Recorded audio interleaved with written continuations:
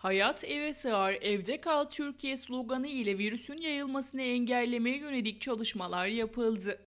Tüm bunların yanı sıra Cumhurbaşkanı Recep Tayyip Erdoğan salgının ekonomik etkisini ülkemizde en aza indirmek için biz bize yeteriz Türkiye'm sloganı ile milli bir dayanışma kampanyasına daha imza attı. Cumhurbaşkanı Erdoğan Yüce Türk milletini bu kampanyaya katılmaya davet ederken Aile, Çalışma ve Sosyal Hizmetler Bakanlığı'nca yardım hesaplarının açıldığı kamuoyuna duyuruldu.